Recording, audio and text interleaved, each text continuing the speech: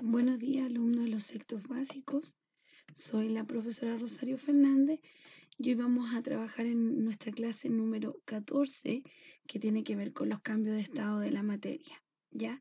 ya partimos viendo algo en la clase anterior, así que ahora vamos a contemplar todo lo que hicimos y además, ¿no es cierto?, ir, dejando algunas cositas concretas que también tienen que ver con la tarea que vamos a ver al final de este proceso.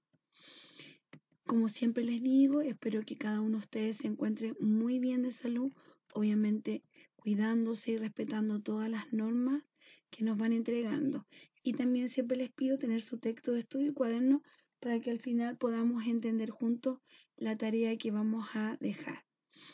Obviamente, bienvenidos y con ganas, todo lo posible con ganas de seguir aprendiendo, aunque sea a la distancia. Antes de comenzar, los quiero invitar a completar un esquema que ya vimos en la clase anterior y que a ustedes les va a parecer muy conocido, que tiene que ver con los cambios de estado de la materia, ¿no es cierto? Está puesto ahí. Tenemos un elemento sólido, un elemento líquido y un elemento gaseoso. En el elemento, ¿qué pasa cuando yo tengo una temperatura alta? Porque eso me dice el, color rojo. Tengo una temperatura que es alta y obviamente me va, ¿Qué pasa cuando tengo un sólido y se transforma en un líquido? ¿Cómo se llama ese proceso? Se llama fusión, ¿cierto? Pero cuando tengo este líquido y también por el proceso de temperatura, de absorción de temperatura, se transforma en un gaseoso. ¿Qué sucede o cómo se llama? Evaporación. Muy bien. Si tengo un, sólido y no pasa por un líquido, sino que es indirectamente o con en forma muy rápida se transforma en un gaseoso, eso se llama sublimación. Todo lo contrario es cuando tengo un estado líquido, ¿no es cierto? Y se transforma a estado sólido. Se llama solidificación. Y cuando lo tengo en estado gaseoso y se transforma en estado líquido, se llama condensación. Y esto por la baja temperatura.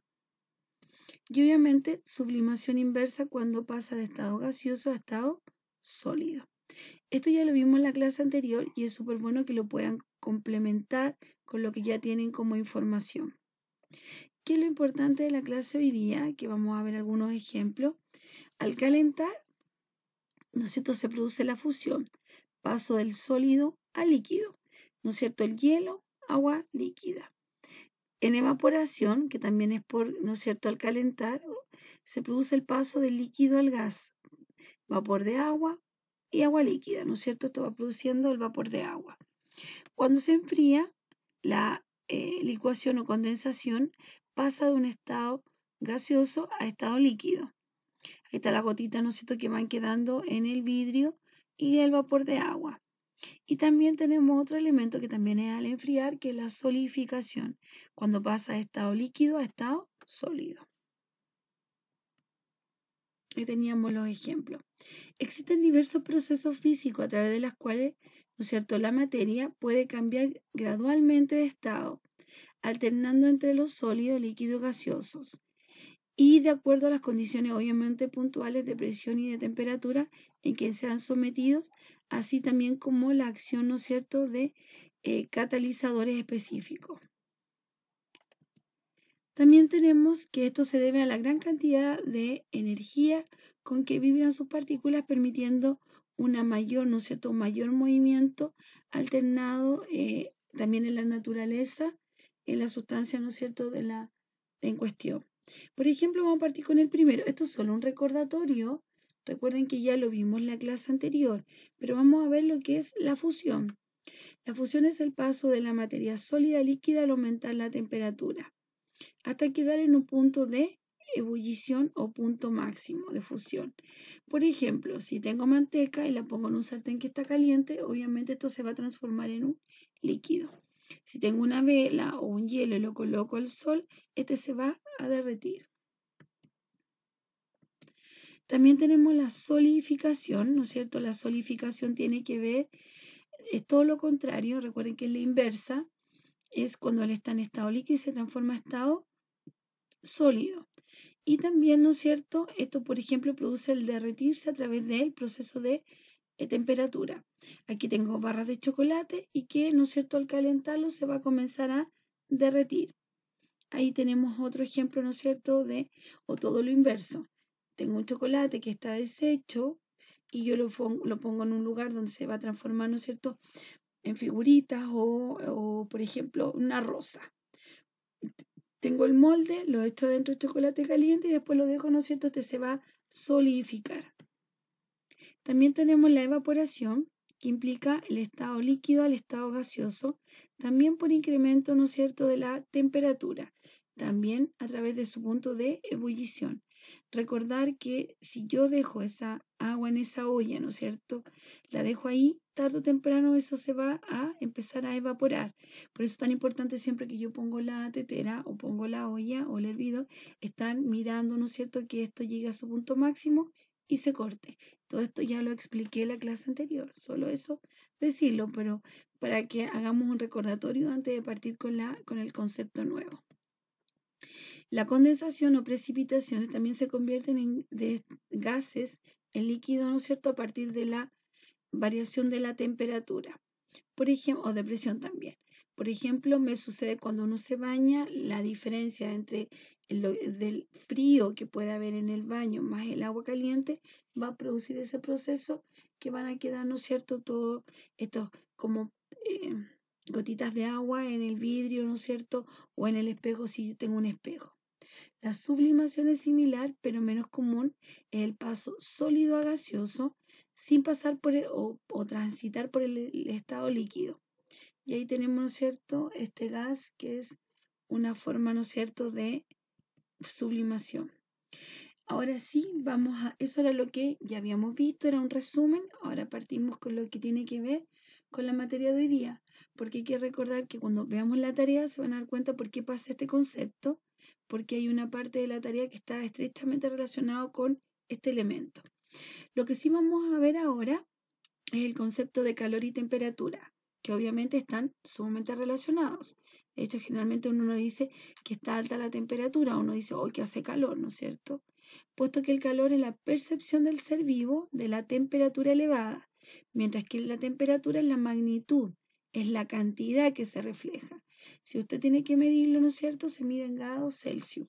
Entonces yo tengo que poner que, por ejemplo, hoy día va a ser mucho calor, yo digo así, porque la temperatura va a ser de 35 grados Celsius, ¿ya? Más o menos para que se pueda entender. O también puede ser a la inversa, pues sí que no va a haber mucho calor, al contrario, y porque la temperatura va a ser menos 2 grados Celsius. Y ahí eso significa baja temperatura. Lo que es el concepto que nosotros deberíamos de usar. Alta temperatura y baja temperatura, no calor y frío, pero se utilizan esos elementos. ¿ya? El concepto del calor, vamos a ver algunas ideas y algunas diferencias también. El concepto del calor es la energía, mientras que la temperatura es la medida, ¿ya? Es el calor es como las partículas se comienzan a mover y la temperatura es la unidad de medida que se da. El calor depende de la velocidad en que se mueven las partículas, lo que estaba diciendo recién. También influye en él la cantidad y el tamaño de las partículas. En cambio, la temperatura no depende de eso, ¿no es cierto? No tiene que ver con ese elemento. El calor es toda la energía producida por el movimiento de las partículas en una determinada sustancia, mientras que la temperatura es la unidad o la forma, ¿no es cierto?, la medida de la energía de las moléculas medias. Y el calor hace aumentar o disminuir la temperatura. Al añadir calor, aumenta la temperatura al quitar el calor, disminuye la temperatura. Por eso uno habla, ¿no es cierto?, que hace calor, pero en realidad uno debería decir que baja hasta la temperatura. Concepto de temperatura. La temperatura es una magnitud física que indica la energía interna del cuerpo o del objeto que se quiera, ¿no es cierto?, medir, obviamente, o del medio ambiente en general medida obviamente por un termómetro en el caso nuestro, que es el que va, ¿no es cierto?, a indicar cuánta temperatura tenemos en el medio ambiente o también en el, en el cuerpo humano. Dicha energía interna se expresa en términos de calor y frío, siendo el primero asociado con la temperatura más alta, mientras que el frío se asocia con la temperatura más baja. ¿Ya? Es decir, yo tengo frío y obviamente ya sé que la temperatura ha descendido. Ejemplos de calor y de temperatura. La emisión de calor que produce un foco. Por ejemplo, si usted, eh, ¿no es cierto?, está cerca de, un, de una lámpara o de una linterna, esto va a producir energía, ¿ya? Va a producir energía calórica. El proceso de calentamiento de un líquido, porque en él, ¿no es cierto?, parte la parte caliente se va moviendo hacia arriba y obviamente la fría va hacia abajo, se va, se va, eh, se va a dejar, ¿no es cierto?, de calentar más rápido, por eso uno lo va moviendo, ¿ya? El caliente se mueve hacia arriba, generalmente, parte hacia arriba y también obviamente es eh, la inversa. Cuando uno se lo va a tomar, generalmente lo mueve y esto va a quedar, ¿no es cierto?, mezclado. Y la separación de las moléculas contenida en la unidad de la masa y entonces el cambio de la fase de líquida a vapor cuando superó el calor de la vaporización o también de la evaporación. Ya, y ahí tenemos otro dibujo sobre el elemento. otro ejemplo es las aguas de la superficie del mar que reciben obviamente la radiación del sol y no solo del mar, sino que también de los ríos y de los lagos. Tocar una cuchara que estuvo en un vaso caliente de leche o de agua, ¿no es cierto? Y que estará consecuentemente, estará también caliente. Si usted deja la cuchara puesta en la taza, ¿no es cierto? Y después usted la va a tomar, su cuchara también va a estar caliente, porque va haciendo una, va entregando una, eh, una radiación de calor obviamente a ese elemento. El calor que puede percibir una persona que está cocinando, pese que no esté efectivamente en el lugar donde se produce el calor. Por ejemplo, yo puedo, yo puedo poner el horno, ¿no es cierto?, a calentar. Y si yo pongo el horno, esta expansión, radiación de calor, al estar cocinando igual me va a llegar, aunque yo no me ponga dentro del horno. Quiero que lo tengan claro, no lo voy a hacer tampoco, pero para que se pueda entender. Ahí hay una niña, ¿no es cierto?, que tiene calor y que tiene frío. Otro elemento que es importante para poder entenderlo y que ustedes lo van a tener también en su libro es este concepto que son tres, que es la conducción, la radiación y la convección. ¿Ya? Y también es importante entenderlo para que ustedes puedan ir comprendiendo mucho mejor el concepto de materia. ¿Qué es la conducción? Que tiene que ver obviamente con las partículas, ¿ya? El proceso que a partir del cual el calor nuevamente el calor, se propaga debido a la agitación térmica de las moléculas, sin que exista un desplazamiento real de ellas. Es un proceso muy sencillo de entender y que obviamente es invisible, pero ocurre, ¿no es cierto?, esta transferencia de calor sin nada físico visible. Por ejemplo, ahí hay una vela, yo tengo un elemento, que en este caso es una regla, puede ser una regla metálica, que la acerco a la vela. Que usted dice, sí, profe, pero ahí no pasa nada, porque usted no se va a quemar, porque está ahí, ¿no es cierto? Pero recuerden que hay una conducción de calor, por lo tanto se va a empezar a, a obviamente, a calentar la punta y esto va a ir avanzando, avanzando hasta que cuando yo la toque, obviamente me voy a quemar. Lo mismo pasa con lo que dije recién con las cucharas. Si usted pone una cuchara en un tazón, ¿no es cierto? Y usted después va a tomar la cuchara, aquí hay una conducción de calor que va a pasar ese proceso. Tenemos ejemplos también de esto. El hielo en una taza de agua caliente se derrite por medio de la conducción, ¿ya? Al hervir el agua, la, la llama conduce calor al recipiente y al cabo de un tiempo permite calentar el agua. El calor que tiene, ¿no es cierto?, la cuchara al dejarla en el recipiente o volcar una sopa extremadamente caliente sobre él. Ahí tenemos varios ejemplos para que ustedes puedan entender mucho mejor lo que es la conducción. Tenemos otro elemento que se llama la convección. No son iguales, pero están relacionados porque van juntos. Estos tres elementos generalmente van juntos. Es la transmisión de calor convectiva, solo puede producirse en fluidos en los que están en movimiento natural, ¿ya? Eh, o circular forzada. Las partículas pueden desplazarse transportando el calor sin interrumpir la continuidad física del cuerpo. Es la transmisión del calor basada en el movimiento real de las moléculas en una sustancia. Aquí interviene un fluido que ser, ¿no es cierto?, un gas o un líquido. Por ejemplo, aquí tenemos la convección, ¿no es cierto?, el movimiento en este caso del agua dentro de una olla. Ahí se va produciendo el calentamiento, ¿no es cierto? Y se va produciendo que esto también, cuando empieza a salir el vapor, va produciendo como un aire arriba. Si ustedes ponen, por ejemplo, un trozo de papel arriba de una olla, ¿no es cierto? Obviamente destapada, y ustedes la ponen arriba, se van a dar cuenta que este se comienza a mover porque se va produciendo, ¿no es cierto?, un cambio y que obviamente va a interferir el gas y también los líquidos. Así que también es importante este proceso. ¿Qué es lo que tenemos como ejemplo para la convección? Los globos aerostáticos que se mantienen en el aire, ¿no es cierto?, por medio del aire caliente. Si se enfría, inmediatamente el globo comienza a caer. Ahí hay un ejemplo concreto de lo que es cuando el vapor del agua empaña los vidrios del baño porque se calienta con la temperatura, ¿no es cierto?, del agua al bañarse.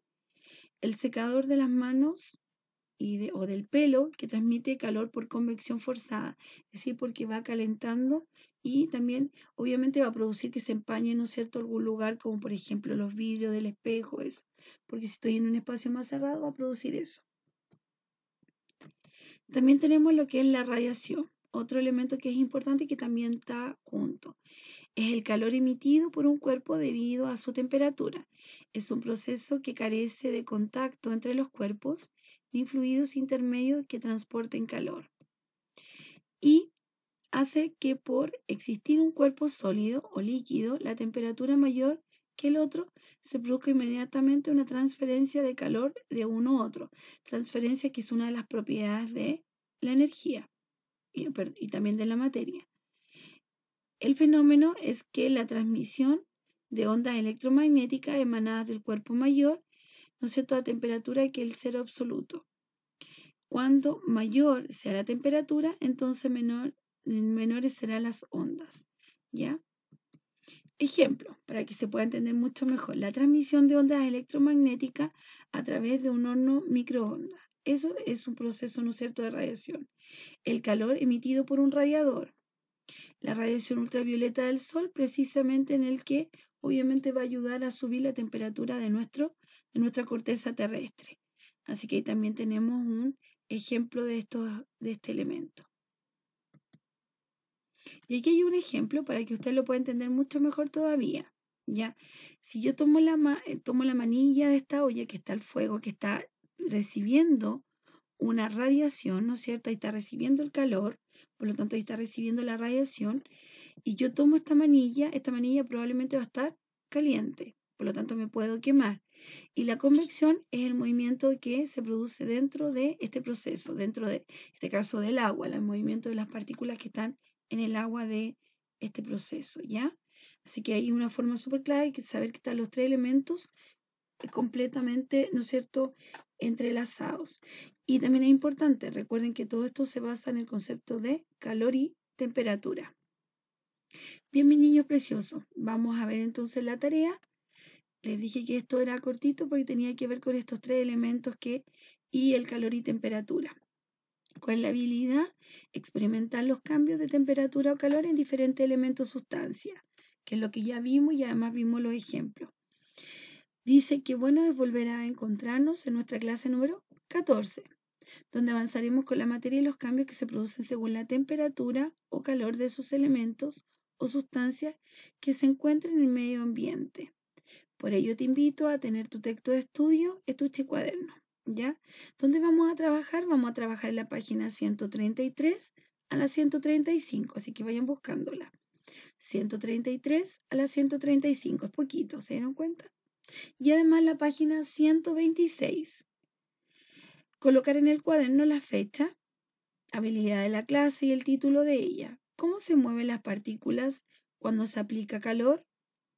Y todo este rato hemos estado hablando, ¿no es cierto?, del concepto calor, el concepto temperatura y además, ¿no es cierto? Ya sabemos lo que es el punto de ebullición, sabemos lo que es fusión, sabemos lo que es condensación, ¿no es cierto? Solidificación, etc. Por lo tanto, tenemos muy claro el concepto para poder entender cómo es el movimiento de sus partículas.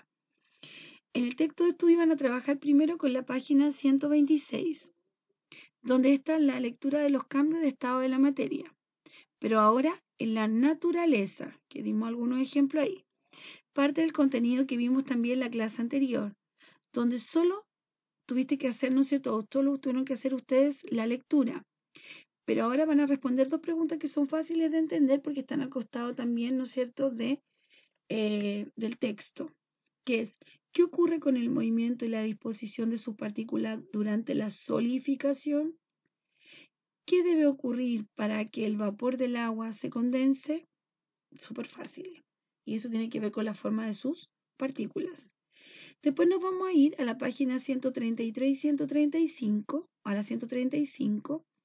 Se realiza solo la lectura del texto, donde van a poder aprender la diferencia entre calor y temperatura, más allá de lo que vimos también nosotros recién, según el movimiento de su partícula, además del concepto de conducción, radiación y convección, que son formas de transmisión de calor mediante sus características y ejemplos. Recuerda destacar lo que consideres importante. Solo la lectura, porque el ticket de salida tiene que ver con ello. Realiza un ejemplo o dibujo de cada una de estas formas de transmitir calor, es decir, de la convección, de la radiación y de la em, conducción, ¿ya? Entonces van a tomar uno de cada uno, van a hacer un ejemplo, pero además van a colocar, ¿no es cierto?, el dibujo. Obviamente sí, es sumamente fácil. Y ojalá que estén relacionados con cosas de la naturaleza o también del diario vivir. Es fundamental que todo esto ustedes me lo envíen a mi correo a rfernandez.cmch.maristas.cl. ¿Ya? La próxima clase voy a entregar un listado con aquellos alumnos para también, obviamente, eh, hacer sentir que, hicieron su tarea y que es importante que lo tengan claro. una lista más o menos con aquellos alumnos que por curso han enviado casi todas sus tareas o también están trabajando muy bien, ¿ya? También es una forma de premiarlo a ustedes para que sepan cómo van avanzando. Así que eso, Recuerden que la tarea es completa. Se responden las, tres, las dos preguntas de la página 126. Luego se lee la página 103 a la 135 y se hace un dibujo o también, un ejemplo y un dibujo de la forma de transmisión de calor en situaciones que ocurren en la naturaleza o también en el diario vivir. Esa es la tarea. Es cortita, así como esta clase que fue cortita también. Espero que ahora les haya quedado mucho más claro la importancia y la diferencia del calor y la temperatura en distintos estados de la materia. Además de que obviamente lo reconocemos en la naturaleza. Así que a seguir estudiando, a colocando todo lo que hemos aprendido en práctica y como siempre les digo, cuídense mucho, mucho, mucho ya para que nos veamos pronto.